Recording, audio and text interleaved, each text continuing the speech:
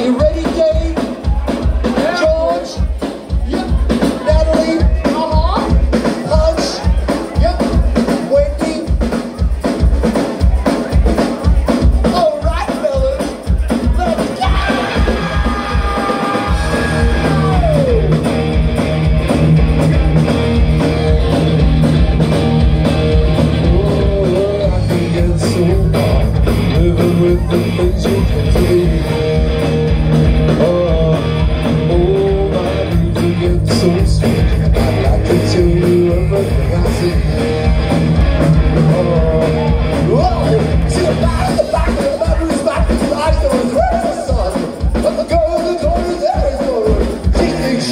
Should have won.